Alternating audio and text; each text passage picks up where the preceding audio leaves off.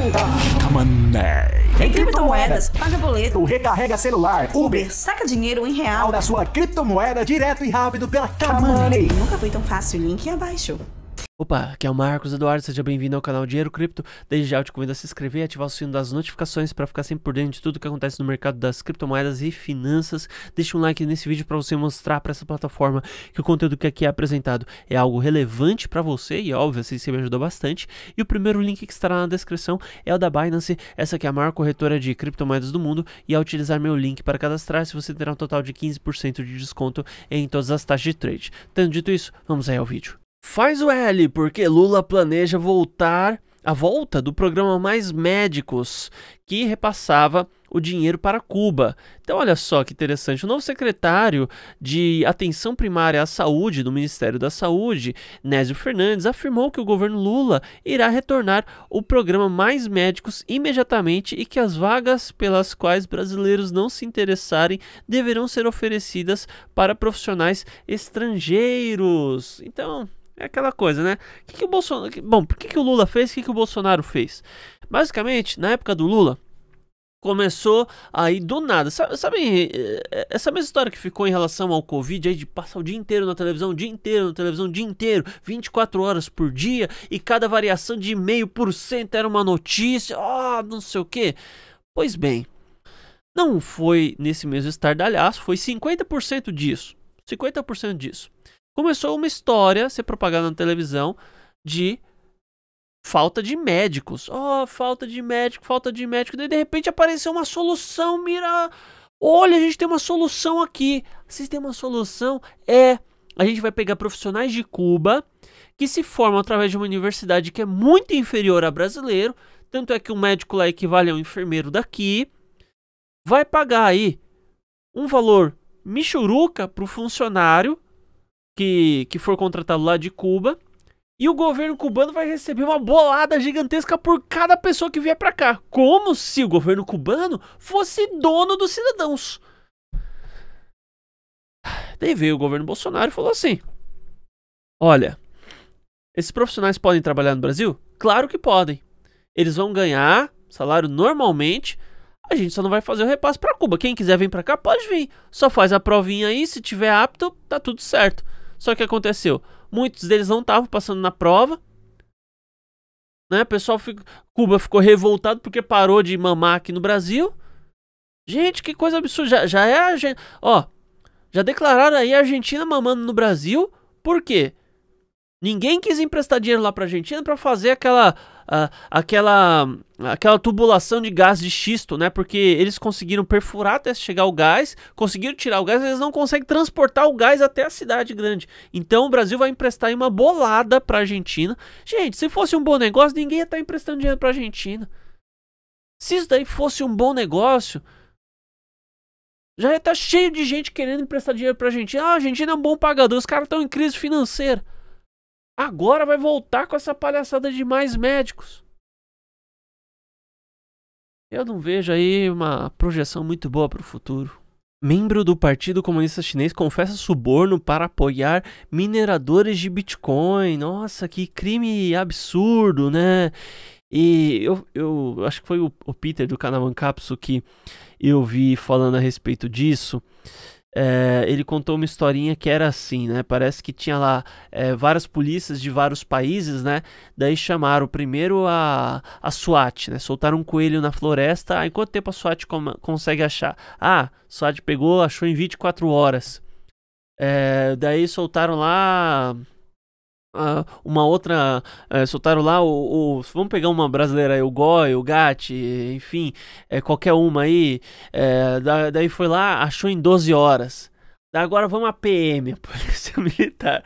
Soltaram o coelho lá na floresta. Vai, vamos ver quanto tempo vocês acham o coelho. Deu 5 minutos, voltaram com o carro, o cara pelo, pelo colarinho assim, tomando tapa. Vai, fala! Deu o cara, eu sou o coelho, eu sou o coelho, me desculpa, eu sou o coelho. Então, né? Eu penso que talvez em alguns lugares do mundo a coisa aconteça mais ou menos assim. Quando é para alguém receber uma acusação de ser criminoso, a pessoa não só recebe, mas eles dão um jeito da pessoa confessar também. Então, assim, eu não consigo confiar muito nessas matérias aqui, não. Não sei vocês, tá? Não sei você que está me assistindo. Eu não consigo confiar muito, não. Gênesis diz aos clientes que precisa de mais tempo para garantir suas finanças depois que a Gemini exigiu uma solução. O CEO interino da Gênesis, Darren, é, Darren Slim, uh, enviou uma segunda carta aos clientes para dizer que a empresa está trabalhando para resolver seus problemas de liquidez resultantes do colapso da F, da corretora FTX, mas ainda não chegaram lá. E o mercado das criptomoedas continua então em uma crise de confiabilidade, não oriundo apenas da FTX, oriundo de todo o cenário de medo que se formou em torno disso oriundo daqueles que ganham dinheiro em cima do medo, oriundo daqueles que querem apenas o seu view, o seu clique, o seu acesso para ganhar dinheiro. Bom, eu não vou me excluir 100% desse grupo, porque eu também me faço valer de recursos de clickbait, recursos de acesso, mas efetivamente eu revelo isso aqui para vocês, eu digo isso aqui para vocês e não tento fantasiar uma, é, uma situação.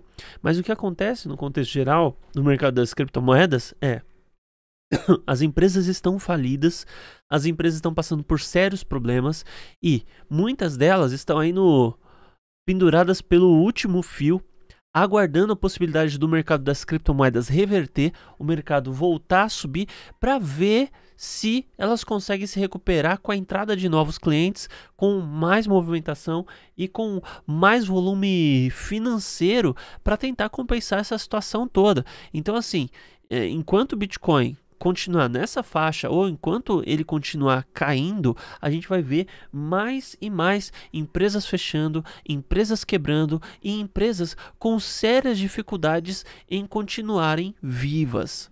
Então, gente, o mundo realmente está passando por uma crise gigantesca. A gente já viu aí o conflito da Rússia com a Ucrânia, que pode ter impactos financeiros para o mundo todo, principalmente se outros países entrarem. E aparentemente a gente está vendo mais tensão aí, ó. Irã diverte França por charges insultantes do Charlie Hebdo. Né? Então, eles pegaram lá, começaram a fazer umas charges satirizando aí, né?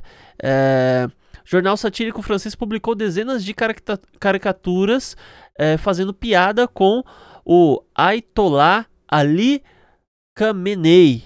É, então, assim, é a mesma história daquele pessoal lá que começou a fazer as charges de Maomé.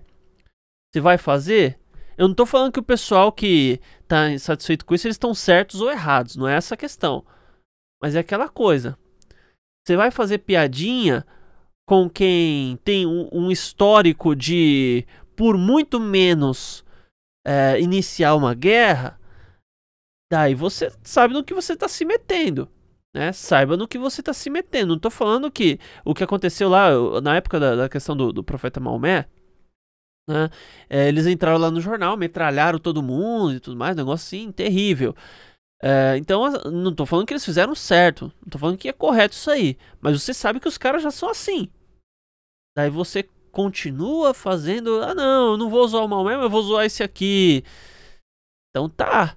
Então você sabe que isso daí pode provocar inclusive um incidente internacional. É importante o pessoal saber com quem está mexendo e o mundo todo já está numa tensão gigantesca. Já está numa tensão avassaladora conflito aí Rússia e Ucrânia, pode entrar mais alguém no meio, né? A coisa não tá bonita. E o pessoal ainda assim quer arriscar. Tá bom? Então tenha consciência do que você tá fazendo.